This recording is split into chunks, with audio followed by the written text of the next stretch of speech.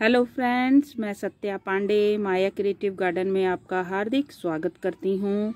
और दोस्तों, आज जो मैं जानकारी आपसे शेयर कर रही हूँ, वो है ये गोबर की खाद। और गोबर की खाद का दोस्तों, बहुत ही महत्वपूर्ण योगदान है हमारी किचन गार्डनिंग हो या टेरेस गार्डनिंग हो, किसी भी प्रकार की गार्डनिंग हो, चाहे जो बालकनी में हम गार्डनिंग करते हैं, किसी भी प्रकार की गार्डनिंग के लिए ये गोबर की खाद का जो है महत्वपूर्ण योगदान है। गोबर की खाद का उपयोग से दोस्तों, हमारे जो टेरेस गार्डनिंग है या किचन गार्डनिंग है, उसमें फ्रूटिंग और फ्लावरिंग और ऑल ओवर उसकी ग्रोथ के लिए जो है, ये खाद जो है, एक बेस्ट खाद मानी जाती है और जो बिल्कुल ऑर्गेनिक है, जिसमें किसी भी प्रकार का कोई भी केमिकल यूज़ नहीं किया जाता है। तो ये जो गोबर की खाद है, इसकी बहुत से फ़ायदे हैं दोस्तों। पहला कि ये बहुत ही इजी अवेलेबल होती है।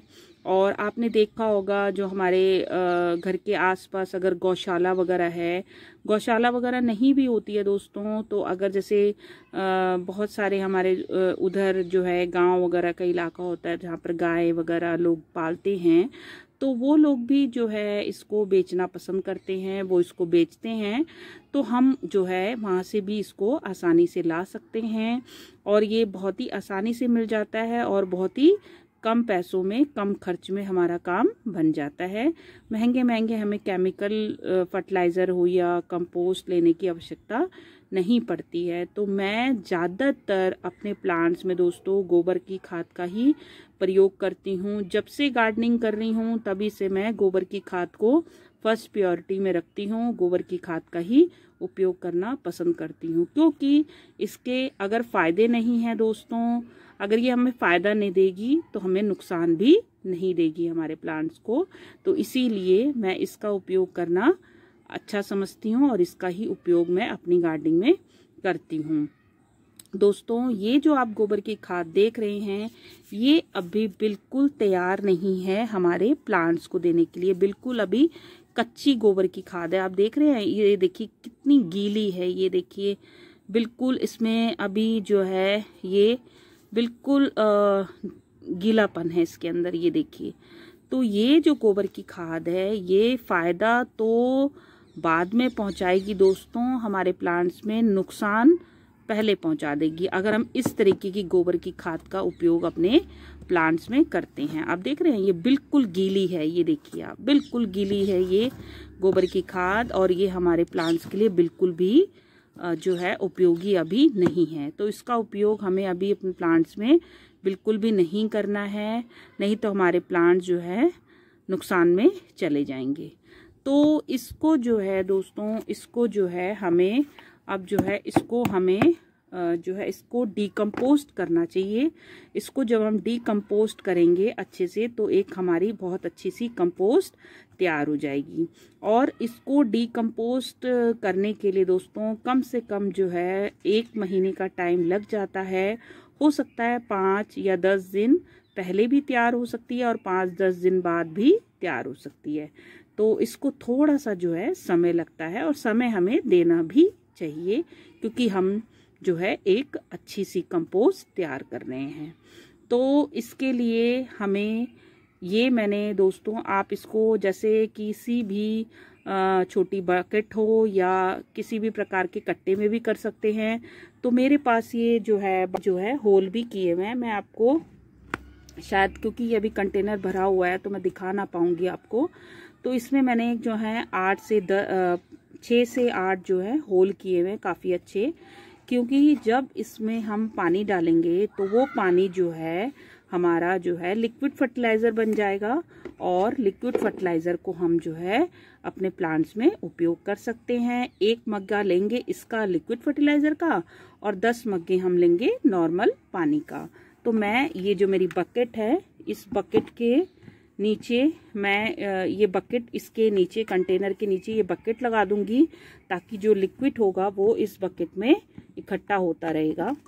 तो ये जो है, इसमें दोस्तों हर फिफ्टीन डेज़ में मैं जो है थोड़ा सा पानी का स्प्रिंकल करती रहूँगी। जैसे आज मैं इसमें डालूँगी पानी तो हर दस दिन के बाद फिर और दस दिन बाद फिर तो इस तरीके से हर दस दिन के अंदर मैं पानी का स्प्रिंकल इसमें करती रहूँगी। थोड़ा सा इसको जो है, गीलापन भी देते रहना है हमें इस गोबर की खाद को। तभी ये जो है एक अच्छे से डिकम्पोस्ट हो पाएगी। अभी ये बिल्कुल भी तैयार नहीं है हमारे प्लांट्स को देने के लिए, क्योंकि इसमें जो ये गीला गोबर है दोस्तों, इसमें जो है अमोनिया की मात्रा बहुत अधिक होती है, जो हमारे प्लांट्स को नुकसान पहुंचाती है।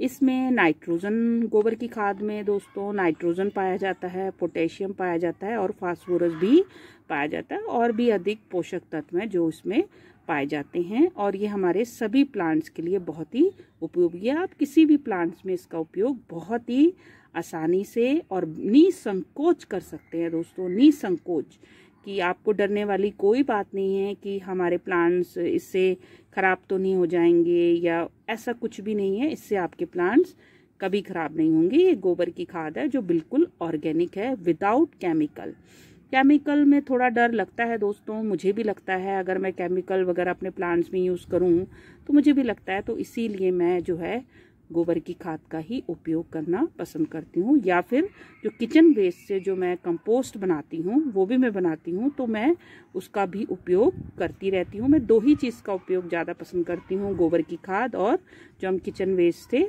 बनाते हैं कंपोस्ट उसका भी प्रयोग मैं करना पसंद करती हूँ। और दोस्तों, ये कम खर्च में मिल जाती है। इसमें ज़्यादा पैसे भी हमें लगाने नहीं पड़ते हैं और बिल्कुल ऑर्गेनिक है और बिल्कुल आसानी से कोई मेहनत ही नहीं है इसको बनाने के लिए। तो ये जो है दोस्तों, ये हमारे प्लांट्स के लिए बहुत ही अच्छी साबित हुई है। तो ये आप आसानी से बना सकते हैं। आपको इसको कुछ नहीं करना है। बस आपको, और जब ये दोस्तों बिल्कुल जब तैयार हो जाती है, इसमें से एक जो है गोबर की खाद में से एक दुर्गंध आती है थोड़ा सा एक आती है थोड़ी सी दुर्गंध तो वो दुर्गंध जो है तब समाप्त होती है जब हमारी जो खाद है, जो बिल्कुल डीकम्पोस्ट हो जाती है, और जब वो कंपोस्ट में कन्वर्ट हो जाती है तो उसकी जो दुर्गंध है वो बिल्कुल ख़त्म हो जाती है, उसमें से दुर्गंध बिल्कुल भी नहीं आती है और वो बिल्कुल, अभी आप इसका कलर देखिए कि इसका कलर कैसा है। इसका कलर है मटमैला जैसे होता है, वैसा कलर है। लेकिन जब ये डीकम्पोज हो जाएगी तो उसका कलर कुछ इस प्रकार का होगा दोस्तों। ये देखिए आप, ये मैं आपको दिखाऊँ। ये मेरा जो है, इसका ढक्कन है तो मैं इसी में आपको जो है, ये निकाल के दिखा रही हूँ। ये देखिए, ये ये गोबर की खाद का ही जो है कंपोस्ट है। और आप देखिए, बिल्कुल भुरभुरी हो गई है, पहली पहचान इसकी। बिल्कुल भुरभुरापन है और ये बिल्कुल ब्लैक हो चुकी है। ये देखिए, बिल्कुल ब्लैक है डार्क ब्राउन हो चुकी है, बिल्कुल। और बिल्कुल भुरभुरी बन चुकी है और इसमें अब कोई भी दुर्गंध, किसी भी प्रकार की कोई दुर्गंध नहीं है। तो ये है इसकी पहचान। आप देखिए, ये है। जो रिज़ल्ट हमारा बनेगा ना दोस्तों, एक महीने बाद वो कुछ इस प्रकार का होगा। ये देखिए, ये है, ये देखिए, काला सोना जिसको हम बोलते हैं ना, ये देखिए, ब्लैक, ये ये ये ये आप देख रहे हैं? ये कुछ इस प्रकार का बनेगा ये हमारा, ये देखिए, ये आप देख रहे हैं? ये, ऐसी ऐसी कंपोस्ट बनेगी हमारी, एक महीने बाद या सवा महीने भी हो सकते हैं दोस्तों। ये देखिए, कुछ इस प्रकार बनेगी। ये मेरी बनाई हुई है, जैसा कि मैं आपको बताती हूँ। ये मेरे गोबर की खाद का ही बनाई हुई कंपोस्ट है, ये देखिए। कुछ इस प्रकार की। बिल्कुल काली, बिल्कुल भुरभुरी, ये देखिए। और बिल्कुल चिपकेगी नहीं आपके हाथों में। ये देखिए, साफ़ हाथ हो चुके हैं मेरे। देखिए, है मेरे हाथों में? नहीं है ना? तो बिल्कुल ऐसी बनेगी। और आप अभी ये देखिए, ये अभी किस कंडीशन में है है ना? और ये हमारी किस कंडीशन में हमको एक महीने बाद मिलेगी।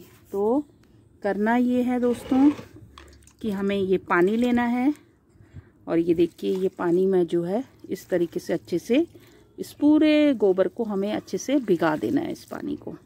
इस पानी से अच्छे से इस गोबर को पूरा भिगा देना है और हर दस दिन में इसको मैं जो है इस तरीके से स्प्रिंकल इस पर करती रहूँगी। तो बस ये है दोस्तों, आज की मेरी जानकारी और इसका जो लिक्विड होगा वो भी मैं यूज़ करूँगी। तो दोस्तों, ये थी मेरी आज की महत्वपूर्ण जानकारी और मेरी जानकारी आपको अच्छी लगी हो तो प्लीज़ लाइक शेयर सब्सक्राइब ज़रूर कर दीजिएगा। अपने रिलेटिव्स में भी कर सकते हैं, अपने फ्रेंड सर्कल में भी कर सकते हैं। तो अच्छा दोस्तों, बहुत जल्द मिलेंगे एक अगली वीडियो में। बाय दोस्तों हैप्पी गार्डनिंग